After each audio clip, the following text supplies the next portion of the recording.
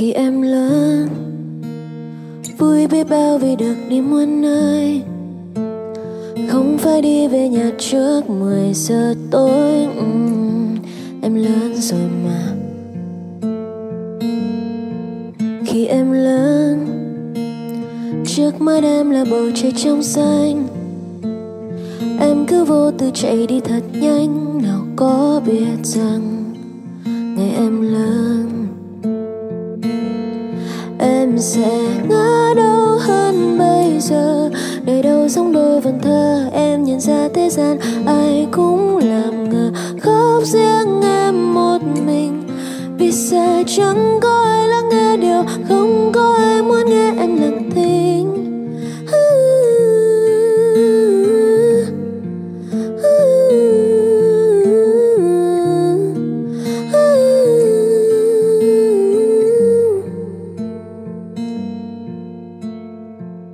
Thank you.